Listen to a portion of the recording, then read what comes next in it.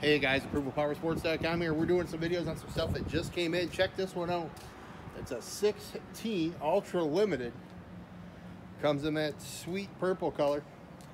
Super clean bike, 12,287 miles. We got a Daymaker headlight, oversized screen, Bluetooth stereo, navigation, security, heated grips, Willie G intake, and a dual Rinehart exhaust.